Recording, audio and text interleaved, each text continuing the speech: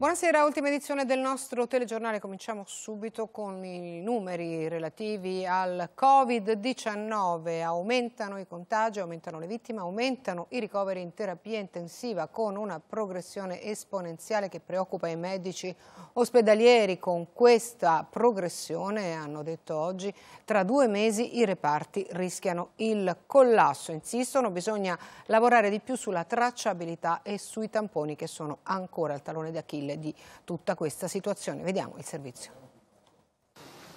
Più tamponi, più casi di Covid-19. La regola del rialzo nei giorni che seguono il weekend resta la stessa e si conferma anche oggi. I nuovi positivi erano 4.619 ieri a fronte di poco più di 85.000 test diagnostici effettuati.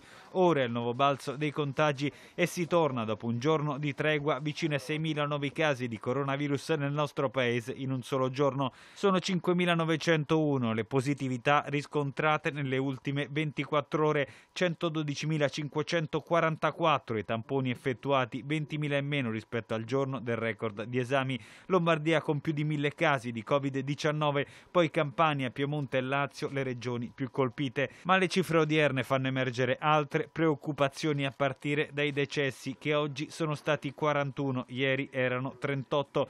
C'è poi la questione delle terapie intensive che negli ultimi giorni erano cresciute con una media di 30 unità per ogni singolo singolo giorno. Oggi raddoppiano, in 24 ore sono 62 le persone entrate in un reparto di terapia intensiva, in totale 514 pazienti.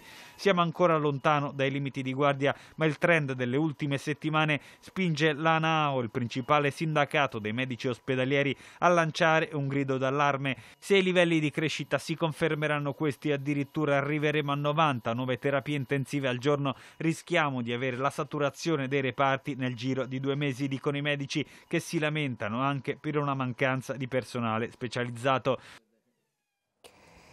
Il contagio è ormai in tutto il paese, bisogna lavorare per evitare nuove forme di lockdown più drastiche, lo ha detto il ministro Speranza intervistato a Di martedì, il ministro della salute ha ripetuto che dobbiamo lavorare sul vantaggio che abbiamo rispetto ad altri paesi come la Gran Bretagna, la Francia, la Spagna, la stessa Olanda che oggi ha avuto ben 7.000 casi e dove da domani ristoranti e bar saranno chiusi e sarà proibito incontrarsi in più di quattro persone sia all'aperto all'aperto che nelle case private. Una questione che riguarda anche il nuovo DPCM che raccomanda di non incontrarsi in casa in più di sei persone. Vediamo quali sono tutti gli altri provvedimenti. Il primo punto del decreto riguarda l'utilizzo delle mascherine. Prevede l'obbligo di averle sempre con sé e di utilizzarle in tutti i luoghi al chiuso diversi dalle proprie abitazioni e in quelli all'aperto che non garantiscono l'isolamento. Un obbligo da cui sono esentati soltanto i bambini sotto i 6 anni, chi soffre di patologie incompatibili con l'uso dei dispositivi di protezione e chi fa pratica sportiva all'aperto. Tra le nuove misure più discusse c'è il divieto stabilito per le feste private al chiuso o all'aperto.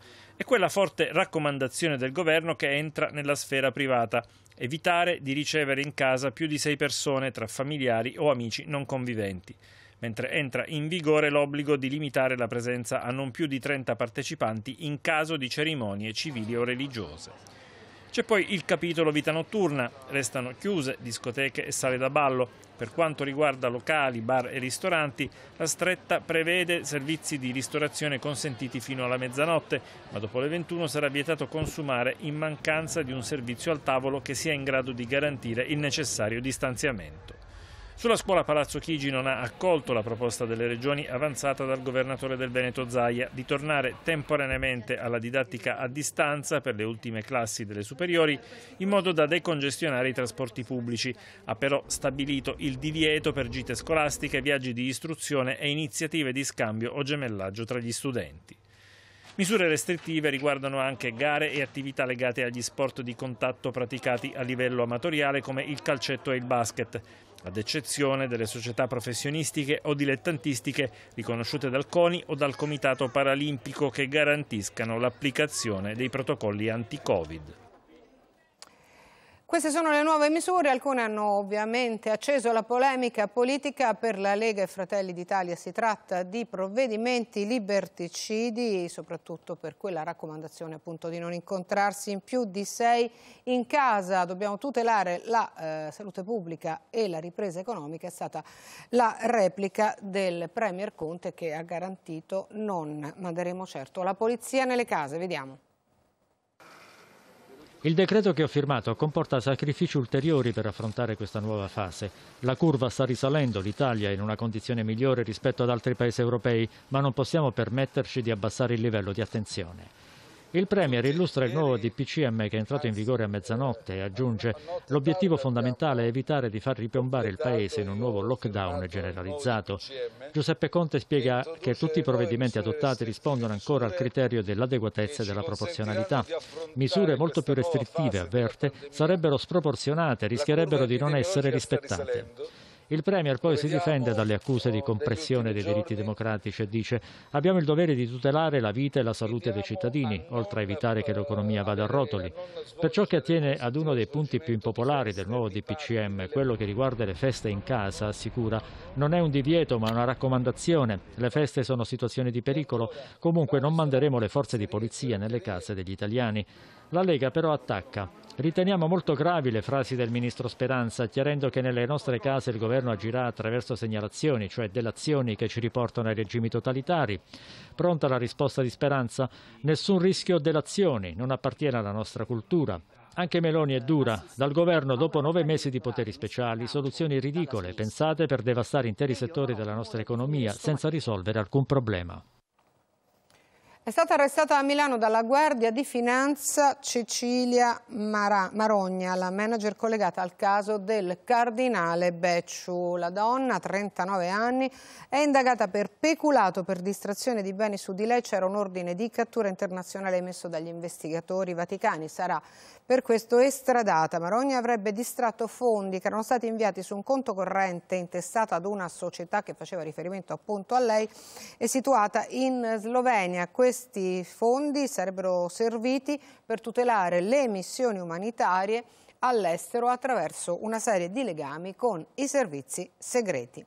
Torniamo a parlare di Covid negli Stati Uniti. Una delle società impegnate nella sperimentazione del vaccino ha sospeso la sperimentazione appunto per eh, preoccupazioni legate alla sicurezza. Donald Trump proprio su questo sta facendo una delle battaglie per la sua campagna elettorale, cioè per l'arrivo a breve del vaccino. Intanto, come vedete, eh, mostra la propria guarigione come argomento di forza in campagna elettorale. Ieri era in Florida davanti a migliaia di persone ammassate senza mascherine. Nei prossimi giorni lo attende un vero tour de force. Il suo rivale però Biden è dato in diversi stati 10 punti avanti. A breve avrà accanto a sé per la parte finale della campagna elettorale l'uomo con cui ha lavorato per anni alla Casa Bianca, Barack Obama. E dal ciclismo al mondo del calcio continuano a emergere nuovi casi di positività al coronavirus. L'ultimo più eclatante, quello di oggi, riguarda Cristiano Ronaldo che si trova in Portogallo con la sua nazionale. C'era poi stato l'allarme rientrato al secondo tampone negativo per Stefan El Sharawi che domani giocherà con la nazionale italiana contro l'Olanda.